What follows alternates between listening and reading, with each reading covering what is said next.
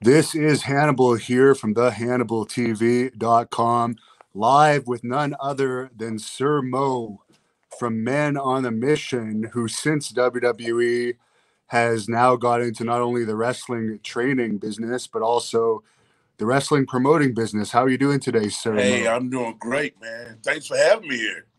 It's a pleasure. Thanks for inviting me to your event tonight. Do you want to tell people a little bit about what you're doing these days? So uh, tonight we're in Dallas, Texas, at the uh, Elks Lodge. SOAR Championship Wrestling is uh, one of three different promotions that uh, I produce, along with CKW KI Championship Wrestling and Little Rock, Arkansas, and Southern Extreme Wrestling in Memphis, Tennessee. Uh, tonight at Dallas Elks Lodge, uh, bell time 7:30 p.m.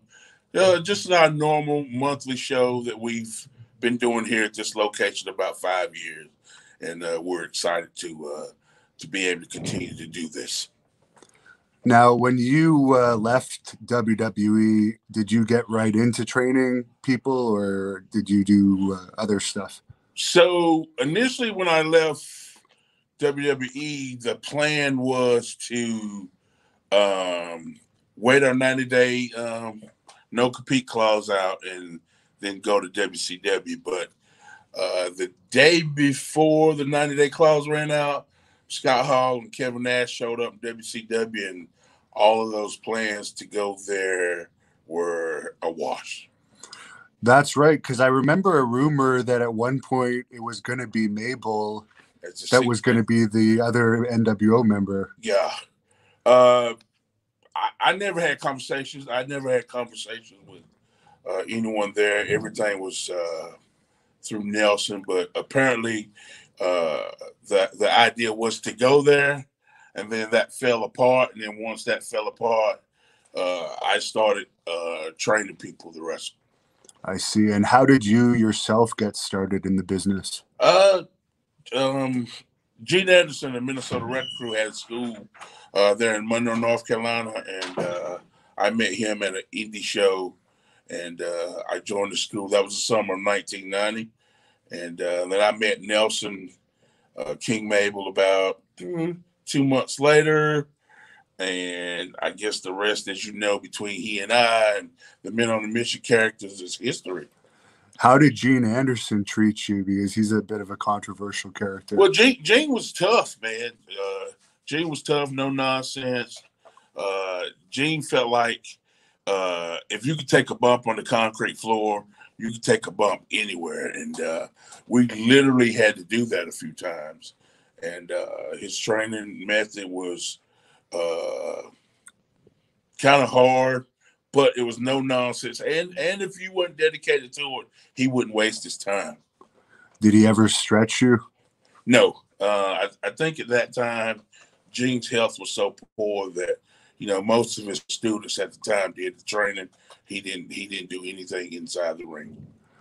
Now Jacques Rougeau was one of my trainers. What was it like working with the Quebecers in WWE?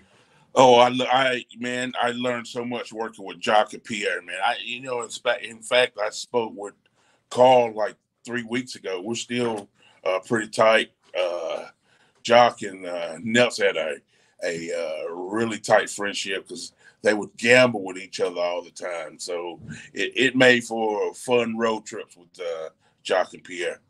How was the uh, backstage politics back in those days? Because we always hear the clique was uh, running rampant. Well,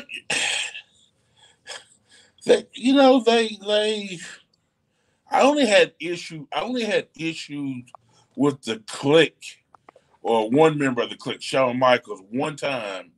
But other than that, man, they never really, they never really bothered myself and Nelson. Uh, I remember when they had issues with Jacob and Eli Blu. Uh, I remember when they had issues with uh, Shane Douglas. But as far as Nelson, I had that one incident with Shawn Michaels where he and I almost got into a fight. But other than that, I didn't have any problems. I got to ask you about that incident. Did you bring it up? What happened there? Well, so it's, it's it's funny because I didn't I didn't understand until a few years ago exactly where Shawn Michaels was coming from. But on this particular night, we were in Israel. Nelson got sick, and uh, so they sent him back to the hotel. And so instead of being able to work a tag match with the uh, head shrinkers, uh, myself and Samu had to work a singles match. Well, Fatu was upset. Shawn Michaels was pissed off because he felt like Nelson should have, at the very least, walked down to the ring, stood ringside, and we still have a tag match. You know, that way, back in the day, if you didn't work, you didn't get paid. So everybody earned the payoff that night. And he came out of the shower. We were standing there in the dressing room and basically assaulted me. And uh, we had words. I basically threatened to kick his ass if he ever touched me again. So that that that basically is what happened. I ended up getting, I guess, stalled for nine months is what they call it.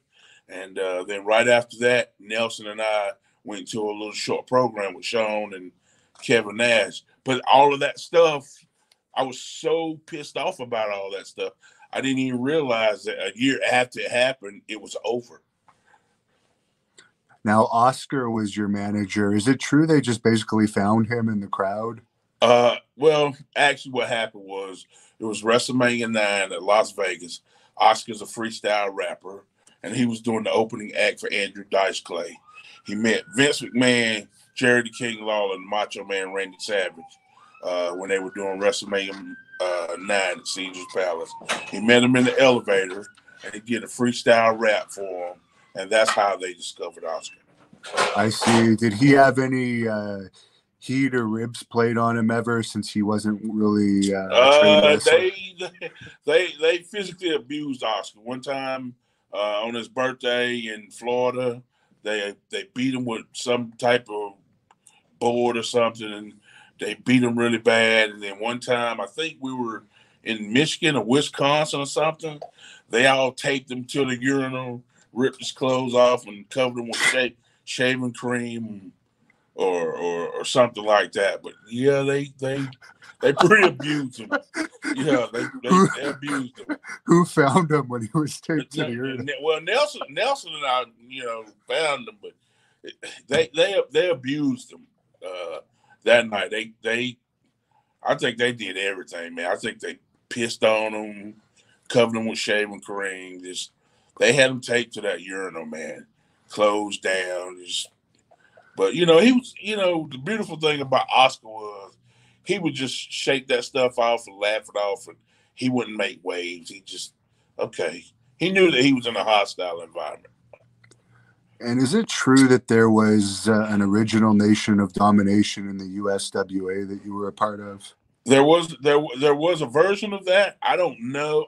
I, I wouldn't be the person to say that it was the original version, but I know that Jamie and, and Wolfie D, a PG thirteen, were part of the original version, and so they were also part of the version in Memphis, along with myself, Tracy Smothers, uh, Reggie B. Fine, uh, uh, Miss Texas or Miss Jacqueline was a part of it. It's Queen Moesha.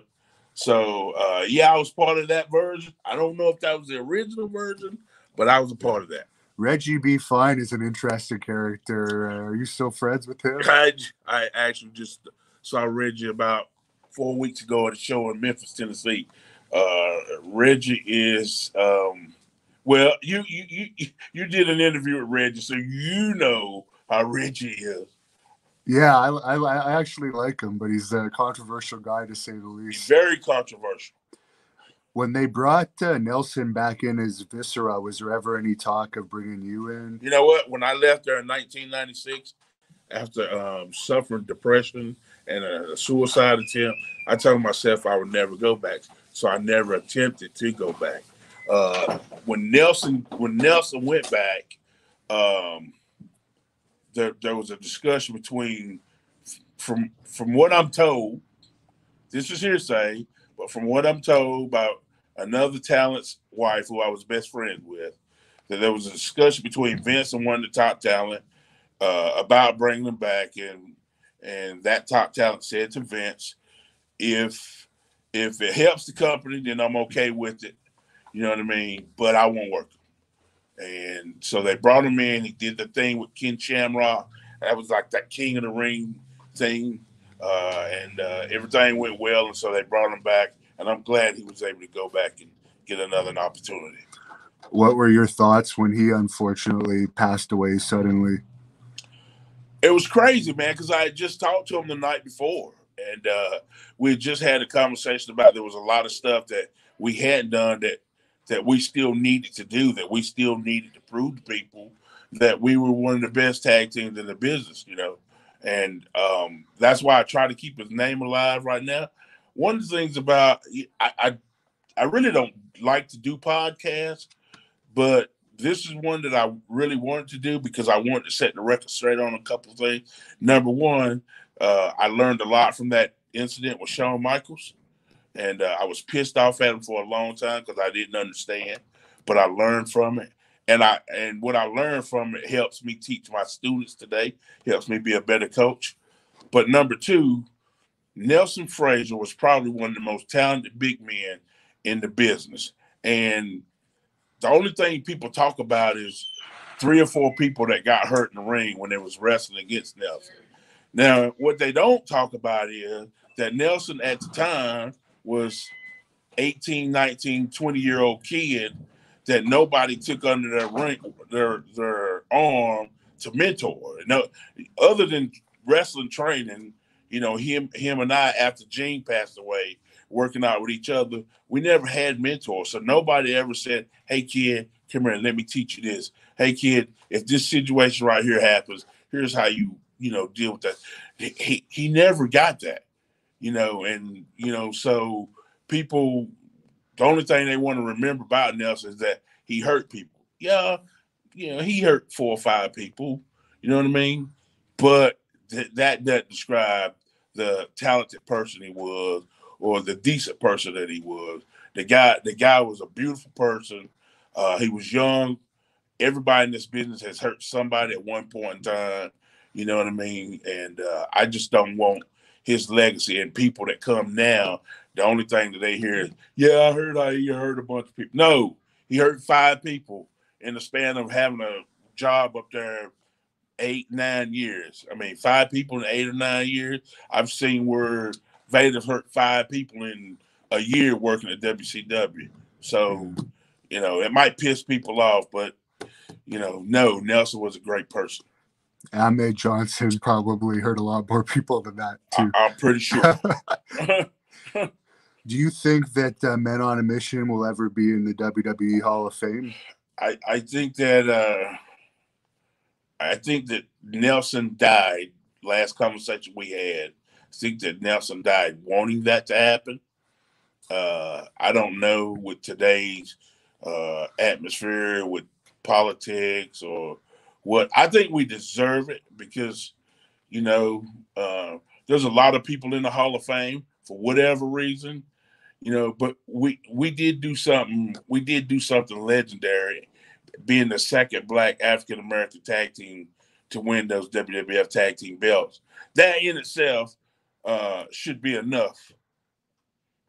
Now you became Sir Mo when, of course, it was King Mabel. Any thoughts on that gimmick transformation? Uh, you know, I I, I enjoy the whole being able to dress up and go ringside and be a manager. I, I wish that they had given me more speaking parts uh, because I, I I'm a really good speaker but uh, I enjoy that, and uh, that's why I keep the name today. I, I've used that name since they gave it to me, and, and still today, 30 years being in the business, I still use that name. Did they ever do anything about that fan that hit Mabel with the trash at the King of the Ring? No, you know, I, actually, you know, it was just we we loved it because we felt like when we got pummeled with all that trash at the King of the Ring '95, we felt like, man, this is some real heat. You know what I mean? Because we hadn't seen anybody in a long time just get pelted with trash and garbage from the fans. I don't know if it was because they hated us that much or if they hated the fact that Nelson won the King the Ring. But in either case, we pissed the world off and we were enjoying it. What advice would you give uh, heels out there watching as a trainer for for being a heel? Honestly, man, I would say be aggressive uh, don't waste time yelling and screaming at fans. Piss them off by the work that you do in the ring. You don't have to stay. I mean, it's easy to yell at somebody and cuss them out, and they yell back at you and, and call you an asshole or something. But when you can have somebody on the front row want to climb that rail and come in there and kill you because you're killing their hero in the ring, that's when you're doing a great job as a heel. Did you have much interaction with Sunny backstage? uh, me interaction with Sunny. I'll say this: the last time Sunny and I had a conversation, because I was the first person that knew about Sunny and Shawn Michaels' relationship. The last time Sunny and I had a conversation, Sunny said, Bro, you know, you could have been the Intercontinental Champion. You could have had any belt you wanted to if you'd have just used the fact that me and me and Shawn was sneaking behind everybody's back. Yeah, I had conversations with her. I had interactions with her. I knew about her and Shawn Michaels long before anybody else other than the Kliq. How did you know? Because I, I walked in on them several times and uh, I walked in on them several times and I remember there was one time in San Jose um, where Chris Candido, uh, Justin Credible, and uh, somebody else were sitting in the lobby with Sunny, uh, and I was at, I was in my hotel room. The back, it was like a balcony circle uh, in San Jose, and I was on the balcony in my room, and across the way on the other side was uh, Shawn Michaels' room. Uh, Kevin Nash's room was right across, and I sat there and I watched Sunny leave the table with Chris Candido, get on the elevator, go upstairs, and sneak in Shawn Michaels' room, and him look across at me and go, and I'm like, no, I didn't see it, but I, I saw a whole lot of their stuff, man. So it, it was just uh I I saw that stuff and I I, I probably could have snitched it off because many times I sat with Chris as he was heartbroken, you know, because I you know I was I was a lot of free time and I sat with Chris many times he was heartbroken over what was going on, but I, I just it, I I couldn't bring myself to tell him what was going on. So yeah, it's unfortunate. Some people say that he he actually knew about it and liked it, but you're saying that he probably wasn't happy about I, it. I, I you know, I, I know he was. I know he was unhappy and he was upset. I can't say with a hundred percent certainty that he knew about it at the time that I knew about it, uh, because it was fresh and it was brand new. But I, I remember many days when he sat around and he was upset, but I can't imagine Chris knowing about it and was just okay with it. There's a fan on here that wants to know if you have any memories of the WrestleMania 10 European tour the week after. Um yeah, it was it was it was I think that was I want to say that, that was the the first time I'd ever gone overseas. And uh it's crazy, man, because when you land at the airport, the fans are there and they follow you all. I mean, we're talking about from one city to the next city, it's like eight hours, and it's the same fan caravan and following the bus. You have heels on one bus and baby faces on another bus, and those fans are. It's like the Beatles when, when WWF come to town. The fans were just crazy and they'd follow you from town to town. I enjoyed them European tours. Now, what does SOAR actually stand for? The uh, the initials of your company. S O A R. So uh, the the creator Denise Jones, uh, she's a Marine, and we would always ha- and I was in the United States Army, so we would always have these conversations about which branch of the service was the best, and and of course, you know, you you ask many people and they'd say the Marine Corps, and so she came up with the you know, the Marine Corps always stands out above the rest. And that's where that S O A R came from. Uh, she created it. There's a fan on here that wants to know what city had the best food when you were touring. What city had the best food? You know what? It was the first time I'd ever tried it, but I thought it was great. Providence, Rhode Island. I went to this Chinese restaurant, and it was the first time I'd had the cottage, the uh, cottage cheese rang, rangoon, whatever they call the crispy things with the cottage cheese. Yeah. Uh, it was I I fell in love with those things. And then the last time that I was there, which was the night the Undertaker got his uh, orbital bone broken, I had some, and the cottage and the cheese, cream cheese is what it was. The the cream cheese was bad, and, and I got sick. And what used to be my favorite food, I can't even eat it now. Did you get along well with the Undertaker? Oh, me and me and Mark was real tight. me and Mark was very tight, very very tight. What What would people be surprised to know about him? About Mark, Yeah, he's just a normal human being. He's just a normal human being. there's a fan that wants to know how you liked working with Raven when he was Johnny Polo, managing the Quebecers. Oh, Scotty, Scotty was a Yeah. lot of fun. We we actually came to WWF the night Nelson and I tried out. Me, Nelson, and uh, Johnny Polo actually rode in the same rental car, flew on the same plane for a tryout that night together. We all came over from Memphis together. So uh, Johnny Polo was cool. Scott Levy, Did you travel with Oscar and Mo, or did you travel? Oscar Mabel. Yeah, or mm-hmm. sorry, Ma- maybe. Ma- Mabel, me and Mabel lived in the same house, so we we traveled everywhere together. Every now and then, Oscar would ride with us, but Oscar, being the rapper that he was, and had had traveled in so many places, he had friends in just about every city, so he pretty much traveled by himself. Is there any reason why you never appeared in a WWE video game? I would say this. In 1996, at the Royal Rumble, Nelson and I quit that night and went home, asked for our release.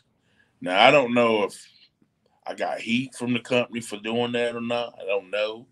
But I, I, I've, I've never been denied tickets or anything like that. But I've never been asked to do uh, anything like video games or anything. But also, I've never asked to do anything or ever tried to uh, to attempt to go back and get work there because my experience there when I almost committed suicide was so bad that I didn't want to be uh, tied to a contract uh, and, and and not be able to just do what I wanted to do. So Did you actually attempt to uh, kill yourself, or you just had the suicidal thoughts? Uh, you know, it was I was on the last beer with the nine millimeter cock to my head, and my girlfriend come running out of the apartment because her dog ran away.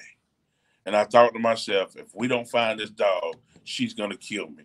And so, so it took us three hours to find that dog. And by the time we found that dog, I tell people all the time, a dog saved my life. But by the time we found that dog, I realized that there was, you know, much worse things in life than not being able to wrestle. So that was the end of that thought. Any memories of your team Doink going up against Team Bigelow, which everyone remembers? Man, that was that was that was an unexpected surprise. We didn't even know we was on the pay per view until we got there, and they sent us the makeup. And uh, so we just tried to make that the funnest, goofiest match we could possibly do. And uh, the only thing I regret is that they didn't give me a better scooter to ride. Gary Nation on here, I guess you must know him. He says, Can I ask you about the night in Sam's Town where Kamala was supposed to wrestle Lord Humongous and Kamala left without saying anything and you had to put this guy in there with him instead? Do you remember that? I have no clue. I I know I know who Gary is. Uh, I I have no clue what happened. I have no clue. Any memories of your famous uh, moonsault at, in your house too? I I remember Nelson and I. Uh, Nashville was our hometown, and I remember Nelson and I said that you know this is probably going to be the last pay per view that we get to wrestle with each other together. So let's just do the craziest thing that we've never tried to do. And so I decided I'd do the moonsault, and he took the big flare bump off the top rope. So it, that, I was afraid, but it was like, okay, I'm gonna kill myself trying this, but I did it. How did you get along with Bret Hart backstage? Backstage, Yeah. uh, to this very day, me and Bret Hart are really good friends. To this very day. In fact, I messaged him. I messaged him the other day on March the 23rd, two months earlier, saying, "Man, uh, I really miss Owen today. You know what I'm saying? It would have been X number of years uh, this year." And and he messaged me back. He said, "Man, I appreciate it. I love that, man, but you're about two months too early." I said, "Ah, man, I'm I'm so sorry. That's that's crazy." Did you and uh, Mabel ever go to the recording studio with Oscar? No. If you could change one thing about your career, would you have done anything differently? If I could change one thing about my career, I would have I would have sat down after that incident with Shawn Michaels and thought the whole thing through, and I wouldn't have gave up so easily on uh, on everything. Uh, I, uh, I I pretty much when that happened just gave up on wrestling. But if I, if I could go back and change anything, I'd change that incident. And where can fans follow you if they want to look you up online? Uh, Bobby Horne on Facebook, uh, the original Sir Mo on Instagram, and uh, Sir Mo WWE Superstar on Twitter. Very good. There's uh, one last fan question I'll ask because it's interesting. Do you have did you have any interactions with Bill Watts when he was in WWE for a while there? Somebody's trying to set me up. They know I don't I don't like Bill Watts ass. Yes, I had I, I here here's the thing. We got up that morning. We were in Detroit. Oscar and Nelson ribbed me by leaving my bag in the parking lot. We drove down to somewhere in Michigan. It was like three hours away. We get to the town, and my bag's not in the rental car. I had to get in the car, drive back to Detroit, get my bag, and then drive back to the building. So I missed my television match that night. And then they were going to go over uh, a finish with Kevin Nash and Diesel. And as I was walking in the room with with the group, Bill Watts, who was booking at the time, says, "Nah, he don't need to be in the room uh, he's not part of this. He's expendable, so we can do this without him. And I, I wanted to look at him and say, "You cocksucker! I can't fucking." And I just turned my back, walked away. I went to JJ Dillon and said, "I can't believe that he, you know, talked to me like that. I, I really want to go in there and punch him in his face." And, and JJ just said, "Just calm down. Uh, next time you see Vince, just explain to Vince that he talked to you like that." And that was that was it. But I I couldn't stand Bill Watts. I couldn't. Luckily, he didn't last there. Thank God. Long. Thank God. I'm glad he didn't get hit by that truck. Well, very good. I appreciate uh, you talking to me. Hopefully, we can do another one. Yeah. When you're not so rushed sometime. But good luck on your show tonight, Soar. And people can. How often do you run here in Dallas? We're we're at the Dallas Elks Lodge every first Saturday of the month. Uh, every third Saturday, we're at Chaotic Kingdom Wrestling in Sherwood, Arkansas, and every fourth Saturday, we're somewhere around Memphis, Tennessee, or Forest City, Arkansas, with Southern Extreme Wrestling. All three of those promotions are part of the OIWA, which I founded in 2020. And if they want to join the school, where can they look up information? BumpsandBruisesPro.com. All right. Thank you very much. Thank you for watching for the Hannibal TV. Please like this video if you enjoyed it and click